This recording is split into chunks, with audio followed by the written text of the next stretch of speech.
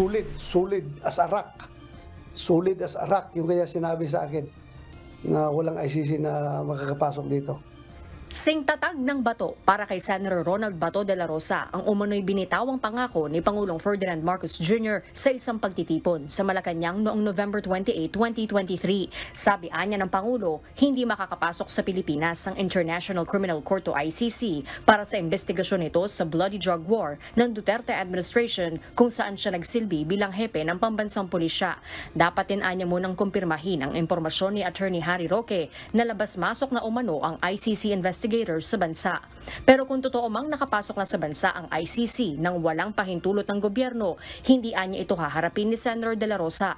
Bagkus, hihilingin pa raw niyang ipadeport ang mga ito.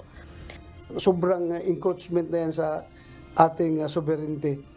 Ah, hindi sila inauthorize ng gobyerno natin, then andito sila nag-conduct ng investigation, eh parang na tayong ginagawa ng mga tao na yan.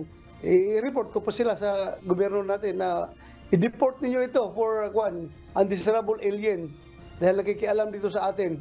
Pero kung nandito na sa bansa ang ICC investigators nang may pahintulot ng gobyerno, wala na anya siyang magagawa kundi harapin ang investigasyon. I will ask uh, DOJ, why? Why oh why did it happen?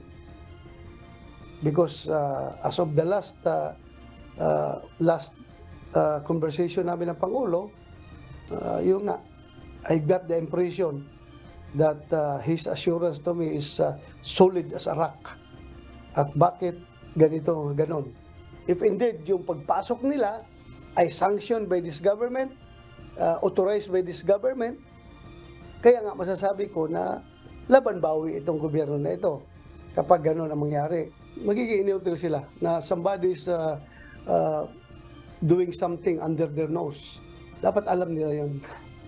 Sa ngayon, wala pa umanong personal na nakikipag-ugnayan sa senador na konektado sa international body. Si Senate Minority Leader Aquilino Coco Pimentel naman, walang nakikitang problema sa pagpasok ng ICC investigators sa Pilipinas. Pero mahalagaan niya na makipag-ugnayan pa rin sila sa gobyerno.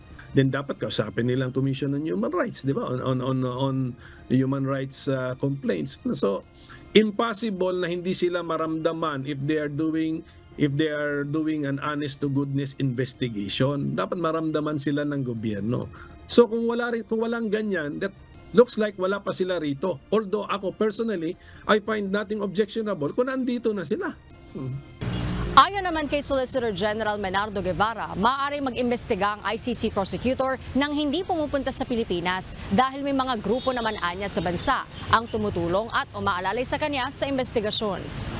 Sakali mang nakapasok na talaga sa bansa ang mga tauhan ng ICC, ayon kay Guevara, ang Bureau of Immigration ang magkakaroon ng impormasyon kaugnay nito.